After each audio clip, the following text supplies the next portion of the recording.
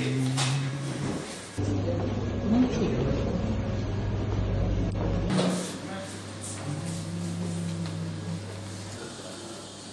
смотрите, у нас проводится оперативно-следственное мероприятие. Здесь вы принимали денежные средства и зачисляли через да. компьютер, правильно, да?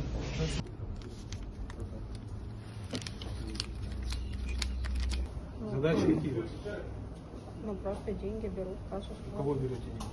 У людей. Какие люди? Ну кто люди? Это кто? Вот, которые приходят. Клиенты или что? Ну да. За что деньги берете?